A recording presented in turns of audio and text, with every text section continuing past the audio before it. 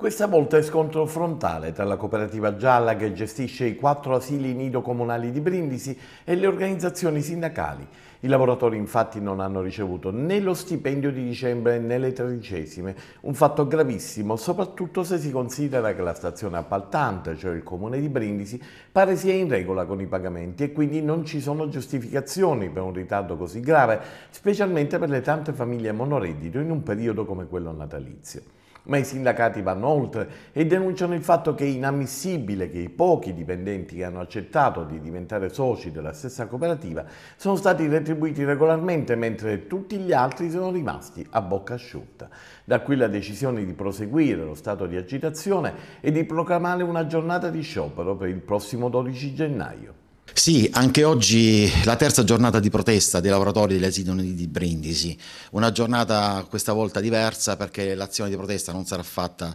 eh, sotto gli asili ma bensì andremo direttamente sotto la sede del consorzio eh, sito nel, eh, presso l'assessorato eh, dei servizi sociali di Brindisi. Un'azione di protesta l'ennesima per il mancato pagamento degli stipendi al 20 eh, e quindi anche dalla tredicesima presumiamo al 31. Una situazione che sta veramente diventando drammatica per decine e decine di lavoratori che probabilmente anche al Capodanno non riceveranno gli stipendi.